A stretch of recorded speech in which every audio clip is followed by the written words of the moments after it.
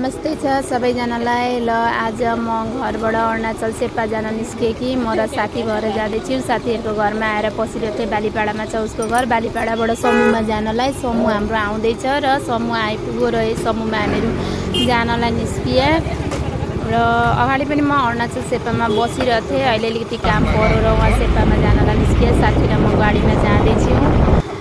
र गाडीमा चढेर गयौँ जाँदैछौँ चारद्वार गएको बाटो गयो त्यहाँबाट कालिम्पोङ भएर जान सकिन्छ अरुणाचल सेप्पामा अहिले अलिकति केही काम पर्नाले गर्दा जाँदैछौँ हामीहरू सक्नुहुन्छ यो बाले कालेबुङ जाने बाटो हो कालेबुङतिर जाने यति राम्रो हरियो पुरा फरेस्ट खुल्लै छ।